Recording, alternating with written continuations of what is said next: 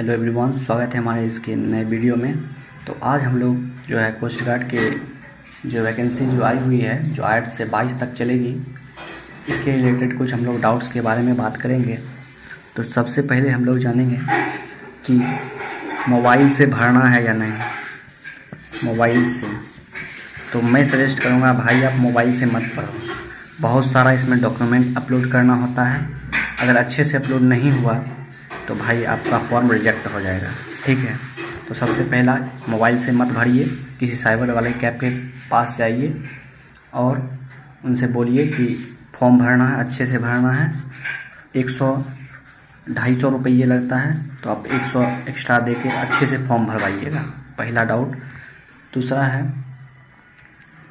कि साइबर वाले कैफ़े के पास जाइएगा तो आप लोग थोड़ा अवेयर रहिएगा कि वो गलती टाइप ना करें।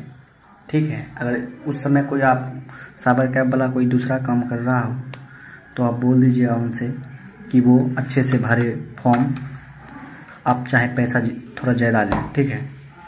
तो ये हो गया दूसरा डाउट अब तीसरे डाउट की ओर चलते हैं हम लोग डॉक्यूमेंट के बारे में। तो डॉक्यूमेंट में जो हमारा होता है सेल्फ डिक्लेरेशन टेंथ का मार्कशीट हो गया। ठीक है? और डेट ऑफ़ बर्थ सर्टिफिकेट हो गया, ये सारा जो है, आप लोग पहले स्कैन करवा लीजिएगा। और ये जो इसमें इश्यू डेट रहता है इश्यू डेट को भी बढ़िया से देख लीजिएगा, कब कब का है। और सर्टिफिकेट नंबर भी अच्छे से आप लोग उसमें डालिएगा। अदरवाइज़ अगर कोई गलती हो गई तो आपका फॉर्म रिजेक्ट हो जाएगा, ठीक है? तो चलते हम लोग चौथे डाउट के। तो चौ, हमारा चौथा डाउट क्या है? कि ये जो डिप्लोमा वाला लोग हैं जितना भी इलेक्ट्रिकल मैकेनिकल और इलेक्ट्रॉनिक्स वाले लोग जितने भी हैं आप लोग एक, थोड़ा अवेयर रहिएगा।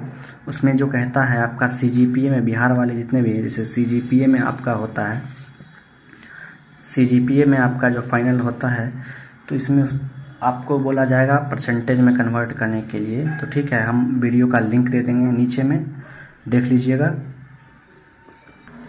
कैसे हम लोग कन्वर्ट करते हैं ये बिहार SBT जो है बोर्ड वो कैसे कन्वर्ट करता है सी जी ए पे टू परसेंटेज तो आप लोग वो देख लीजिएगा। उसी के अनुसार अपना परसेंटेज डालिएगा, वरना सेकेंड स्टेज में आप लोग छट जाइएगा। ठीक है? डॉक्यूमेंट वेरिफिकेशन में आप नहीं होगा तब। इसके अलावा जो है स्लेट वाला फ़ोटो आप लोग उस पर लिखा हुआ है। स्लेट वाला फ़ोटो आप लोग लगाइएगा, उसके अलावा कोई और फ़ोटो आपका रिजेक्ट कर दिया जाएगा। ठीक है, हम आपको दिखा देते हैं कि कैसा हम लोग पिछले बार जो था, वो किए थे। तो देख लीजिए, ये देख लीजिए, ये है। अच्छे से देख लीजिए, ऐसा ही आपको फ़ोटो लगवाना है और ऐसा ही है, ये है हैंड डिक्लेरेशन देख लीजिए। इसी तरह से आपको लिखना है। ये पूरा यहाँ तक लिख के और नीचे में थम एक्सप्रेशन ये डालना है।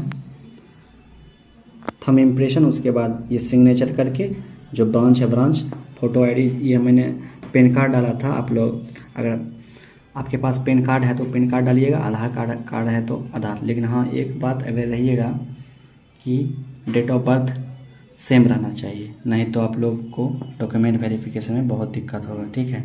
छट जाइएगा। दिक्कत क्या होगा? छट जाइएगा।